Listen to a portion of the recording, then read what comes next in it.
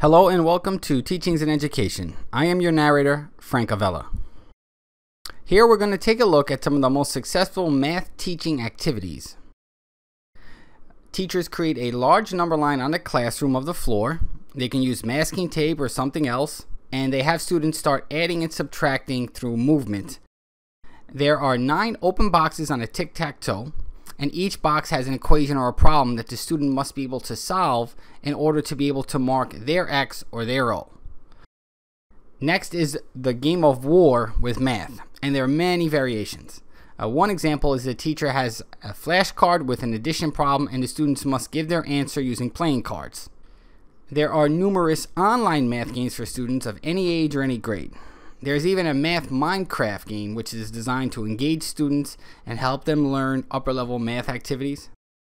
I remember playing the quadratic formula song each year for my students.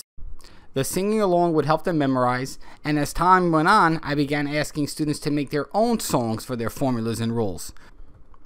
Math journals are often used in middle school and high school. Students can reflect on specific problems, describe their feelings about upcoming standardized math tests, uh, one interesting activity for very young students is to take them out for a nature walk and have them count the flowers.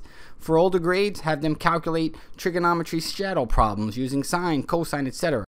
Math Bingo is a game that can be tailored to any grade level.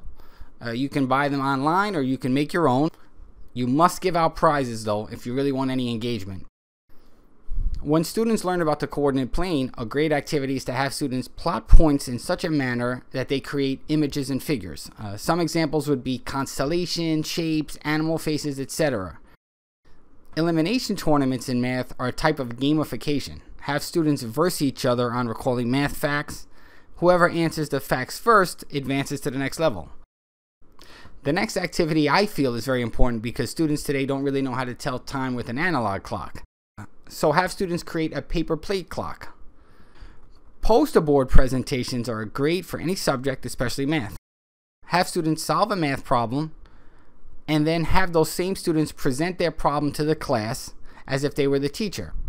Another activity for teaching math involves having students look up prices for things they want to buy. Then have students calculate the sales tax associated with that item. Learning centers are great for mathematics differentiation. With learning centers, there are a number of different activities taking place at each table. Students rotate the tables and learn different content. When younger grade teachers are on the topic of geometric shapes, ask your students to hunt for shapes in real life and then identify those shapes. It's always great when you can make real world connections. Candy math or food math incorporates edibles into the lesson. Students can do sample size and probability using Skittles and Starburst. At the end of the lesson, allow the students to enjoy the candy. Measurements are needed in the real world. Allow students to get up and move around by assigning them the task of measuring objects in real life. And lastly, the students that love math will probably also love to do puzzles and riddles, so why not combine them? Right now, I want to say thank you for your time. Please check the description for resources related to mathematics teaching, and don't forget to subscribe to this channel, and please like and share this video as well.